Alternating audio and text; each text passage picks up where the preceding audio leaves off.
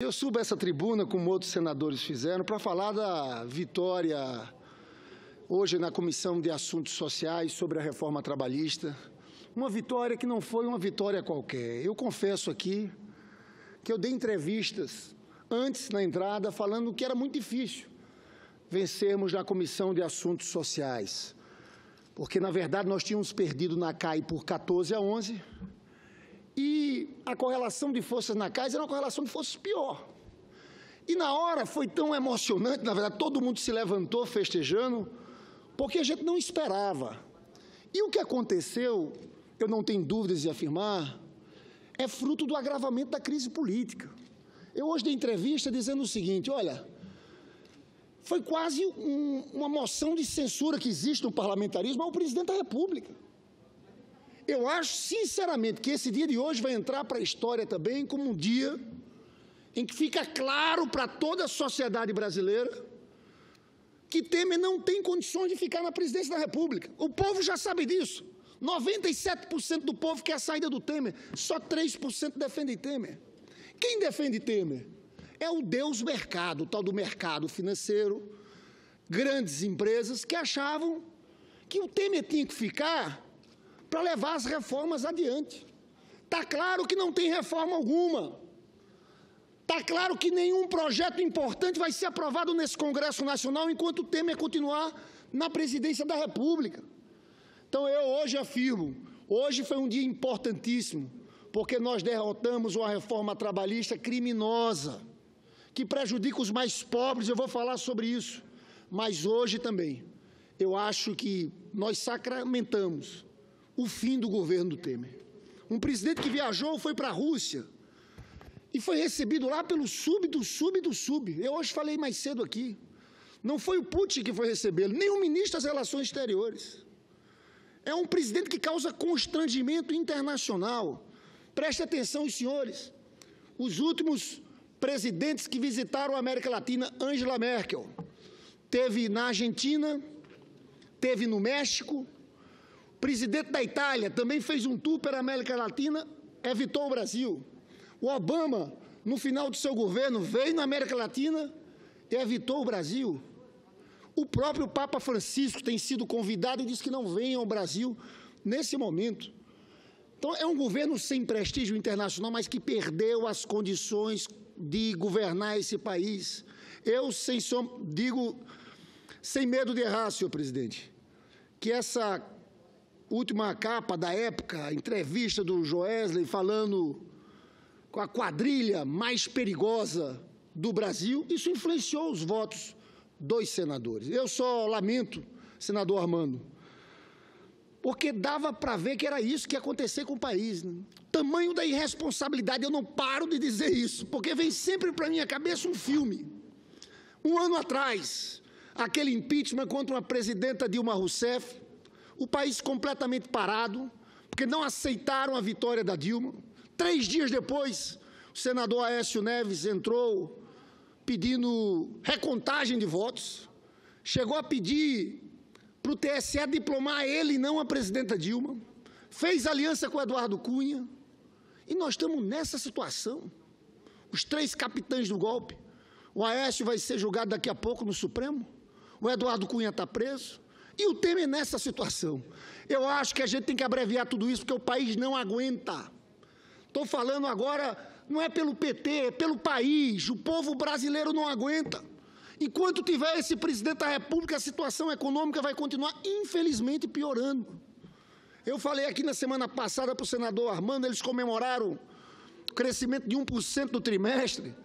A gente sabe que esse crescimento foi safra agrícola. O investimento caiu 1,6%, consumo das famílias caiu, consumo do governo caiu. E os indicativos para esse segundo trimestre também são indicativos muito ruins. Então, tem gente avaliando que nós vamos crescer esse ano 0,4%. Isso é uma estagnação violentíssima depois de 8% de retração. A gente precisa, senador Armando, de um outro presidente da República que tenha força, que o povo brasileiro confie, para oferecer um rumo, um novo caminho. Alguém, eu lembro daquela crise de 2009, quando o presidente Lula, no auge de sua popularidade, disse ao povo para consumir. aos empresários para investir. Tanto o povo quanto os empresários acreditaram naquilo. E nós superamos aquele período. Enquanto o Temer ficar, a situação só vai se agravar. Agora, quero voltar ao tema inicial, que é a nossa vitória hoje na Comissão de Assuntos Sociais, porque essa reforma trabalhista penaliza os mais pobres. Eu, quando me oponho ao ajuste fiscal e o ajuste do mercado de trabalho que eles estão construindo, primeiro, em relação ao ajuste fiscal, eu digo que não é equilibrado. Porque alguém podia dizer: nós estamos com um problema fiscal grande no país e vamos querer contribuição de todos. Aqui não tem isso. Aqui é aperto só em cima do mais pobre, do aposentado que ganha o salário mínimo, da pessoa com deficiência que recebe benefício de prestação continuada. Não tem nada para o andar de cima, nada para os bancos, nada para o sistema, nada para o sistema financeiro, para os grandes empresários do país. E em relação ao mercado de trabalho também, viu, senador Armando, eu digo uma coisa. É um absurdo que a gente não mexa nos privilégios dos altos funcionários públicos. Isso aqui a gente tem que enfrentar para poder mexer e discutir com o, salário, com o trabalhador que ganha o salário mínimo. Nós temos juízes ganhando 60 mil reais, 70 mil reais, dois meses e meio de férias. Aqui também, nós não acabamos aqui, não votamos o teto. O Senado votou, mas ainda está na Câmara dos Deputados. Então eu fico vendo que autoridade tem esse Congresso também para mexer tanto no direito dos trabalhadores brasileiros. Tem um estudo feito por um professor da USP, que diz que se essa reforma trabalhista for aprovada, em 10 anos, nós vamos aumentar de 26% os trabalhadores terceirizados para 75%. Os trabalhadores terceirizados, todos nós sabemos que recebem menos e trabalham mais. Boa parte de acidentes de trabalho acontecem com empresas terceirizadas. Mas mais ainda, senadora Litz da Mata, senadora Vanessa, as senhoras que foram verdadeiras guerreiras no dia de hoje. A senadora Litz da Mata hoje fez um discurso bravo que levantou os senadores. E eu, sinceramente, acho que a atuação das senhoras, nós temos uma bancada feminina aqui extremamente aguerrida. É impressionante as nossas senadoras. Né? E o senador Paulo Paim, que eu já parabenizei tanto, senadora Alice, mas o senador Paulo Paim, que expressou um pouco a indignação de todos do Brasil. O senador Paulo Paim falou com a força de um trabalhador, de um operário. Eu hoje falei mais cedo para ele como ele calou o Senado, porque essa proposta que tem aí permite a redução da hora de almoço de uma hora para 30 minutos. E o senador Paulo Paim lembrou da história dele, ele como trabalhador, como peão, como ele fazia nessa hora dele, era uma hora apertada.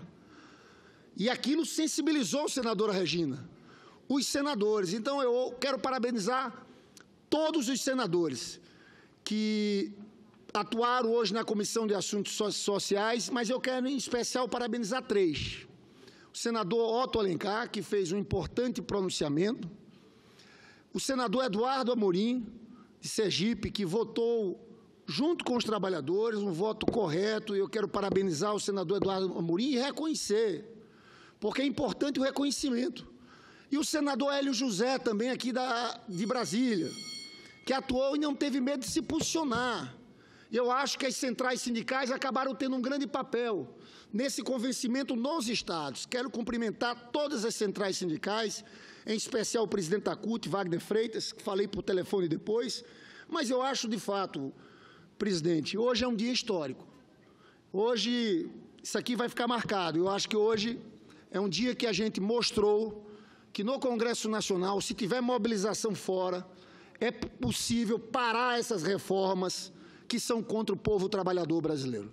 E acho que é um dia histórico também, porque o dia de hoje vai ter uma repercussão muito grande no futuro desse governo que aí está. Eu acho que o símbolo da derrota do governo no dia de hoje é que é um governo fragilizado, que não tem condições mais de ficar na presidência da República. Até os que estavam defendendo. Muita gente do mercado. Porque quem defende o Temer hoje, no povo você não encontra quem defende o Temer. Você encontra gente do mercado. que trabalham em grandes empresas que estão dizendo o seguinte: olha, vamos manter ele por causa das reformas. Eu acho que hoje, até esse pessoal percebeu que não dá para o Temer ficar na presidência da República. Que se esse governo continua, o país fica completamente parado. Nós vamos continuar, infelizmente, aumentando desemprego. Foram 2 milhões e meio a mais de desempregados desde que começou o governo do Temer. Não adianta jogar para Dilma. 2 milhões e meio só depois que o Temer assumiu.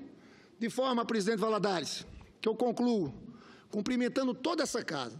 Eu acho que hoje o Senado se agigantou.